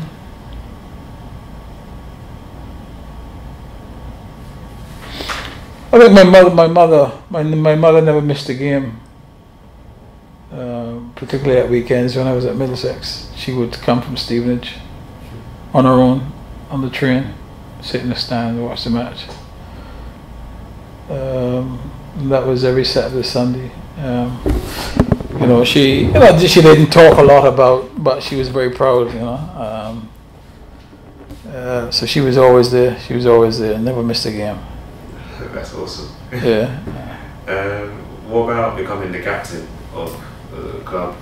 Uh, what significance did that hold for you? Um, well, great significance. I mean, you you've now actually you've just touched on something that I didn't even pay a great deal of attention to because the first black. right now, yeah. Yeah. Well, no, right now there's a guy in England writing a book.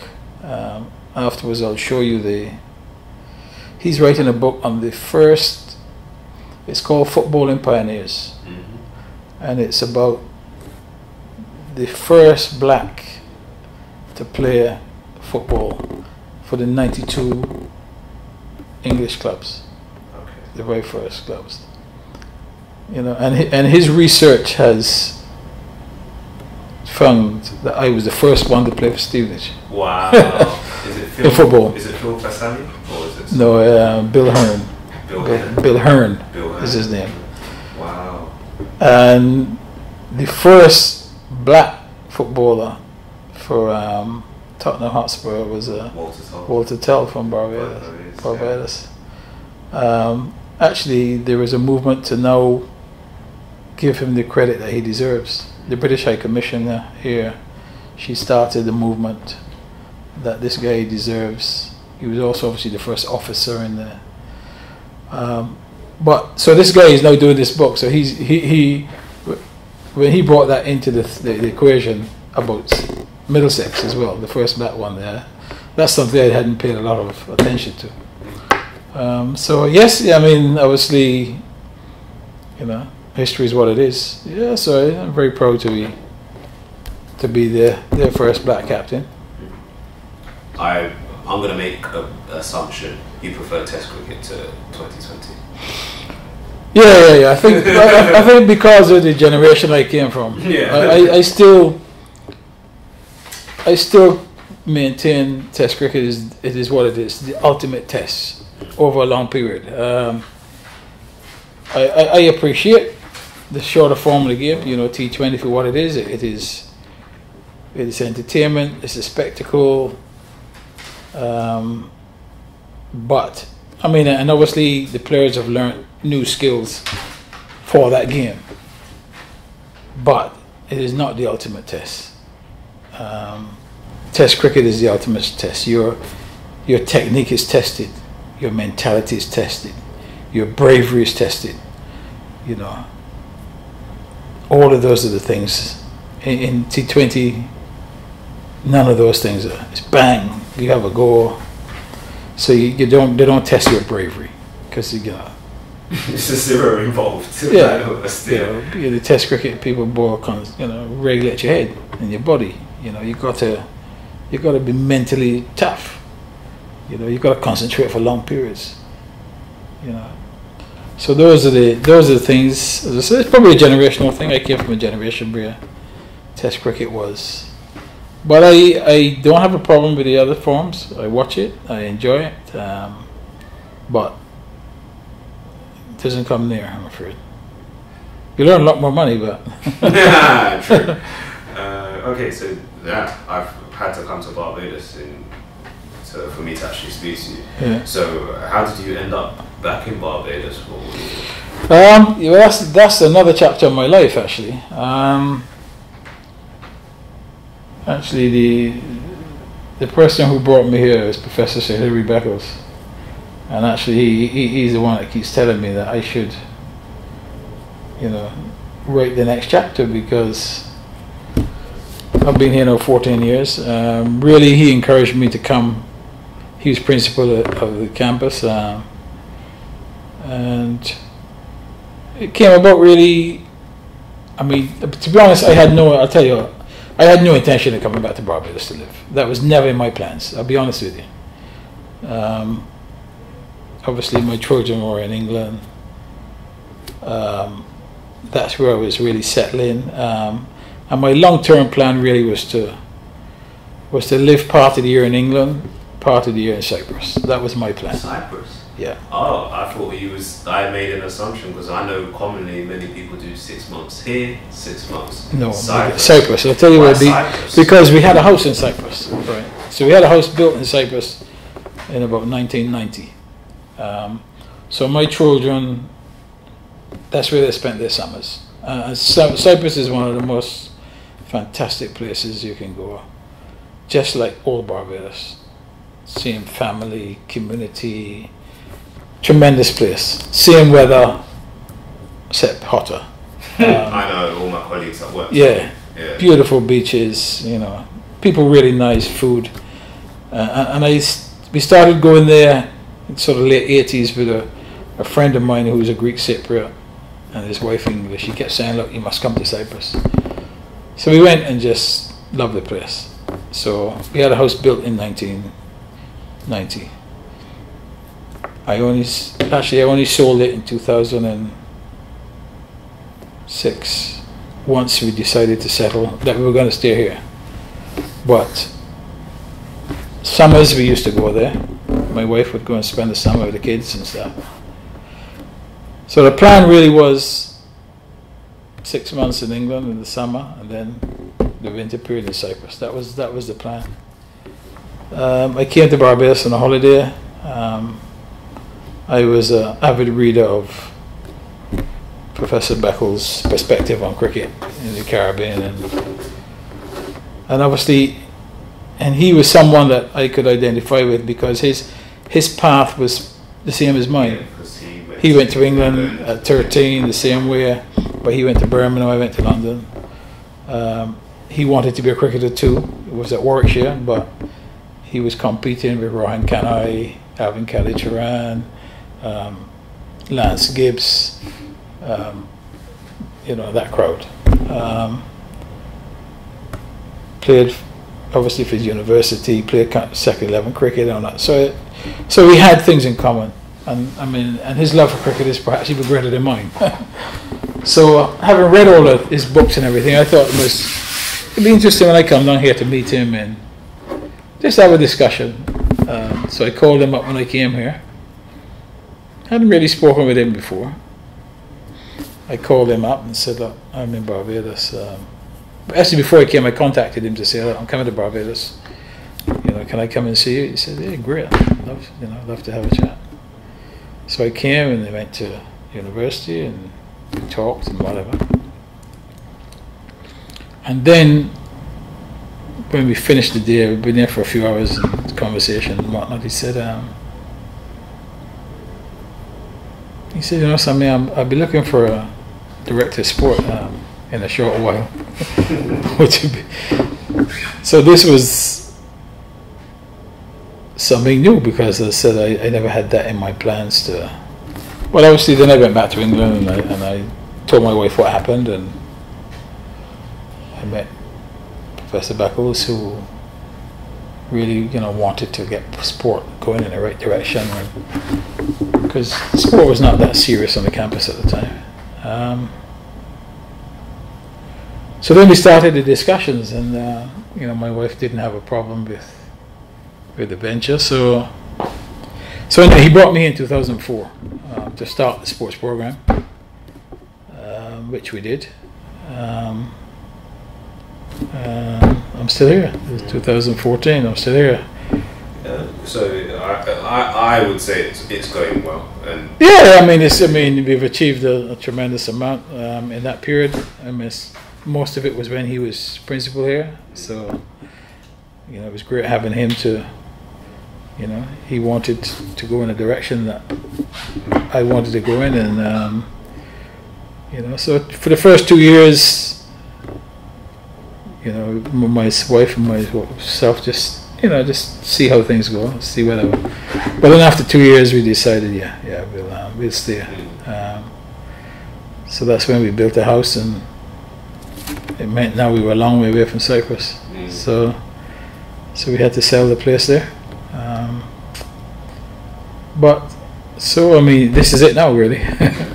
So I'm here. What was it like coming back? Because in my experience, just observing like the, the Caribbean and its Mm. diaspora, you kind of have this hierarchical thing for me that I noticed. It's just my perspective. People might not agree. So there's people that live in the Caribbean, born in the Caribbean.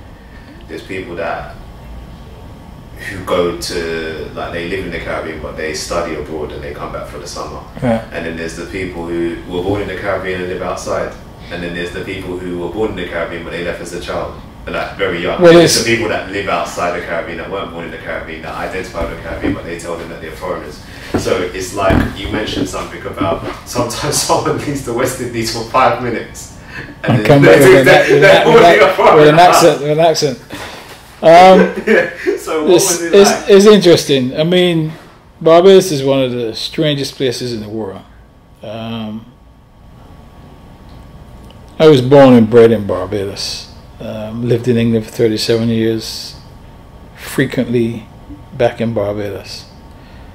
And, you know, and, and I'm treated like a foreigner, basically. You know, people see you as a foreigner. Um, and Barbadians have this particularly the ones who haven't been anywhere, have this view of themselves of knowing everything. Um, so the time, you know, I, I've had a lot of frustrating times here in Barbados in that, you know, people just move too slow to do anything. Um, so here I was from first world country where you push, push, push, push, push, get things done. And you come back and people are, you know, not wanting to move at the same speed as yourself. So that, that has been a frustrating part. But, you know, I've learned over the years that, you know, I, I'm not going to come down to their level. Um, but I, I, I have found ways to get around their slowness of doing things.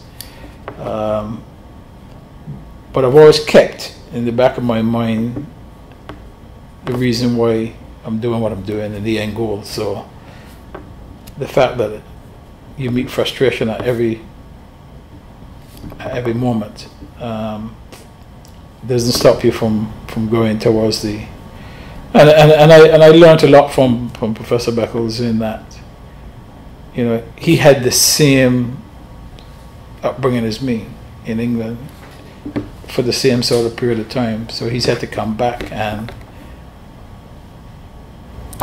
he's come back as a person wanting to get things done. So he's obviously he's gone through the same because he wasn't always principal.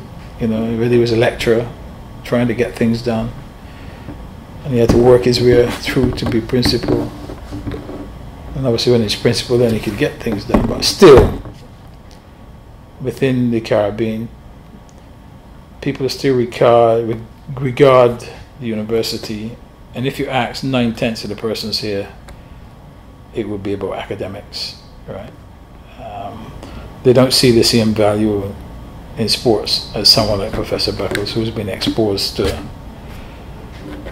you know, so he, you know, his belief is that, while in the old days, promising sports persons when they went to universities had to make a choice, um, that shouldn't be so. That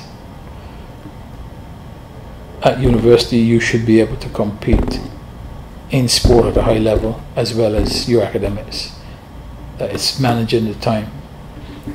Um, and the two go together. That's his belief. Uh, you know, that is my belief too. So that's what's helped me to continue when, you know, you're not getting a lot of assistance. That, you know, you're doing this for a much bigger purpose. You know, you're, you know, so really we're continuing what he what he started. Obviously, he's now vice chancellor, so he's you in a more so you know, he's been the focal point of establishing the now faculty of sport, the first faculty that the university have had for 40 years, the faculty of sport. So, sport is here to stay. Um, I will make my contribution um, now. I'm sure somebody else at, in time will will take it on, but you know, it hasn't been 14 easy years. It's been you know tough, but it's also rewarding quick question. What do you like about, since you returned to Barbados, what do you like most about Barbados? And if there's anything, what do you miss about England? Um, I guess the punctuality and getting things done you probably missed about. Yeah, yeah, yeah. I mean, I, I, I, I, I don't, I don't like, I don't like sloppiness or slowness in doing things. I, I, as I said, I know believe excellence for me. If you can do it, I want you to do it well. Um, you know that's that's one of the frustrating parts. Um, what I have got to know about Barbados is that um,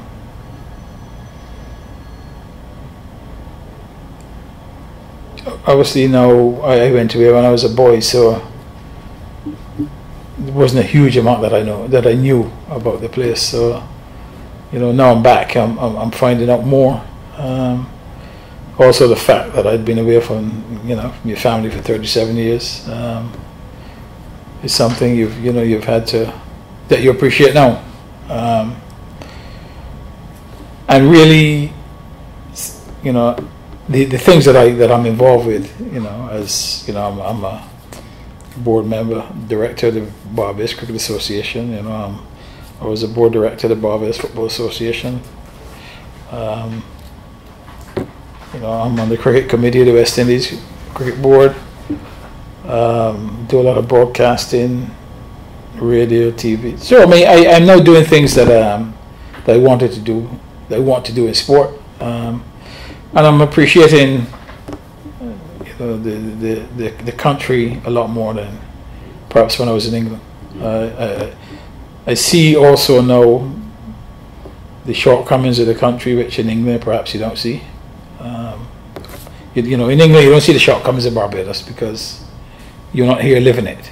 Um, and, and you don't get to understand what needs to be done. Um, hence, as I said, when those people don't come back to Barbados for 20, 30 years, really they, they, they, they have no idea as to as to what goes on here. Uh, and, you know, it's not an easy place for a lot of people, Barbados. It is a uh, you know, a lot of people in Barbados survive um, by the, the good nature of their families overseas. Uh, and I, at times I don't think the overseas, even though you, you know you're helping your family, I don't think you really understand the real importance of, of, of that help because you you you're not here to, to see it. You're not here to experience it. Um, yeah, I mean, I, am here because I believe I have a contribution to make to you know my country. I was born here, regardless of whether people think I'm a foreigner or not. I was born here, um, you know, and, and, and, and I, I'm really trying to drag them into the 21st century in terms of in terms of sport and thinking about sport and sport related um, things. Well, don't, you don't have to answer this question if you don't want to, because you kind of touched on it. It's more of, a, of me not taking up your time. But why do you think people stay away from 20, 30 years? And I'm not saying I'm. It's it's a lot different for me, so I'm not going to say I'm any better than them because that's not what I'm thinking. I want to get that across because for me, uh, even though I was born and raised in England, I can't go very long without touching a foot in this place Mm. because even though England's where I'm supposed to be more most comfortable, and in January I probably am. There's certain things I don't have to explain to people when I'm here, and I'm just myself, which is sad in a lot of ways. Mm. So um, I can't imagine. But- It, it, it is a strange question because, I mean, like my sister who went away with me, probably she's been back here once in that time. She is, you know, there's a lot. She's probably been here once, if that. Yet, I have, sis- I have, I have a, a sister that was born in England who is about to. She's just they just built a house, just got a house built here, because she'd be spending more time here now. And her husband will be retiring. She was born in England, so she has more affiliation now here in Barbados than my sister who was born here. Um, now my own two kids, my daughter, she's probably more Barbadian than me. she was born in England. Uh, yet my son is the opposite. You know, he's more English than. Um, but I don't know. I, I, I guess a lot of the people who, I mean, all the people who went before used to have this vision of you know go and make their living and eventually come back and retire to Barbados. Um, what I would say, Barbados is not an easy place to retire. It's not an easy place to retire. If you're going to just leave where you are to come back to retire after being away for so long. Um, because you are still seeing Barbados as the Barbados you left, where you could trust people, you could leave your doors open, those type of things when you left 40, 50 years ago. Now you come back to a, a Barbados now, which is a, a totally different reality. And a lot of those people get frustrated. A lot of them get taken advantage of. And a lot of them lose what they work for. And eventually they, they, they don't last a year. They run back to England. And I think that is because they've been away for too long. You know, they haven't kept that.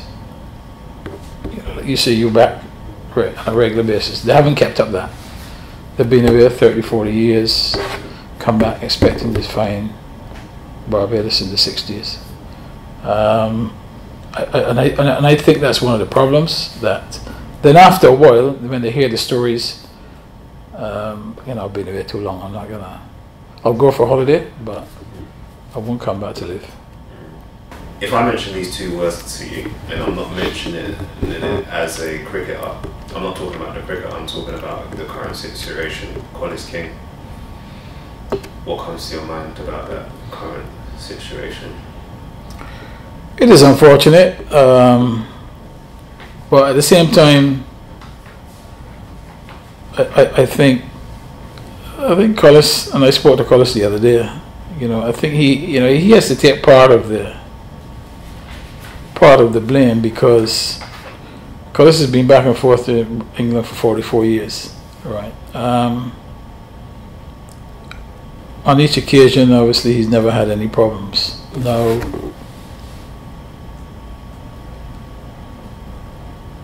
It's not personally. No, the rules- no, the rules- Let's, just clarify Yeah, the rules- about him. yeah. This is the whole. No, but, but no, but but the rules that the people have is that, which is for everyone, is that if you are in if you are in England on a visitor's visa, if you're there on a visitor's visa, if you want to apply for spousal visas, all spouses visas have to be applied for in your country. You can't apply for it in England. Right. So Collis was there on a visitor's visa, then he applied for a spousal visa while he was in England. So they've said to him, spousal visas have to be applied for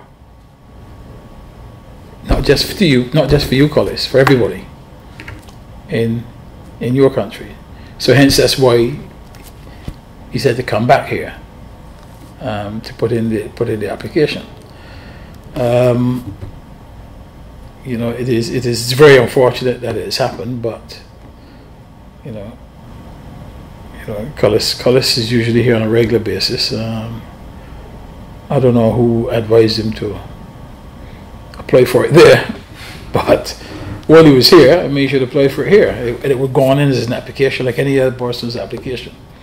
Um, but I mean, I'm sure he'll, you know, it will be sorted. Um, you know, he, he, has no record of doing anything, so he, he will get it sorted. But it will just take time. It's just unfortunate that it's had to be so much in the public glare and everybody's getting involved and having their say. And just like you know, the Windrush thing came up, it was a storm, and it was dealt with. I'm just going to ask you a few quick questions. Um,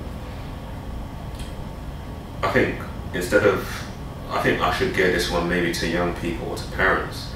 If your son or daughter, if a son or daughter, if a parent came, what would you tell parents who have a son and daughter today in the West Indies, Barbados, or the whole region, who really has a desire to become a sports person, but they're more into academia? The parent is more into academia, but the child has this desire. Not they're not saying that they want to neglect academia, they really want to become a sports person? Well, listen, the, the, there are too many examples in this world of sportsmen who are multi multi millionaires. So that that tells you that being a sports person is a viable and a lucrative career. Um, how many doctors can you have? How many lawyers can you have? Everybody can be a lawyer or a doctor. Um, unfortunately, the Caribbean people feel that those are the only professions worth anything, being a lawyer or a doctor. Um, they're ten a penny. If you are a, a very good sports person, you know, you can make an extremely good living for you and your family. Um, the guys know who are playing these T20 leagues you know, some people you can get a million US dollars for four weeks' work. You know, you could go to what university? You know, where would you earn that? For four weeks uh, to do something that you really enjoy doing. For me, what, what we've been doing here is what it's about providing a platform so that the talented sports person can pursue sports and academics at the same time. Um, what I would say to them, academia is fine. You know, if you're not, but academia is not for everybody. Um, you know, if, if your son has the, the talent and passion for a sport because you want him to be a doctor or a lawyer, you know, allow him to, to and support him what he wants to do. And sport is a viable profession and lucrative one too. The last question I'll ask you is whether it be current or in the future, what do you want to be mostly remembered for? Um, for me right now, really, um, I'm currently I'm currently now about really providing for my grandchildren and, and their future. That, that that that is my that's what I'm about now. That you know they are provided for. You know when I when when I am no longer around. Um, the rest of the stuff is, you know, I've done what I've had to do. You know, I, I've enjoyed my journey. I've enjoyed my career. Sport has been fantastic for me. Right through still now. I mean, um, it's been my life. Uh, it will continue to be my life. But but right now, I, I really would prefer to be remembered that you know I, I made sure that my grandchildren's were in, in, in looked after well to, to have a future. That, that, that is really for me right now the number one priority. I think that's a fantastic way of looking at that. Not many people would have said that, but I think that's a very fantastic way of looking at things. Especially when I look at where I am from in London and I can see people of your generation that obviously they live in a country that's hard to live in, Mm. but you can tell that they've never had that intention of even looking after their own kids for not grandkids, their Yeah. own kids. So for you to be still thinking about that at this age yeah, quite Yeah, wonderful. that's, that, that's my number one focus. Right now, I have two grandchildren. Um my daughter, she has two grandchildren, two children. She's on her own. Um, one of those, the boy, he's 16 this year. He lives with us. He's been with us since six. Um, and my granddaughter, right now, that's my son doesn't have any kids yet. So really, those two are my priority. That that is that is number one. Mm. Oh man. Well, that's, that's a fantastic way to end. Thank you. No problem. Uh,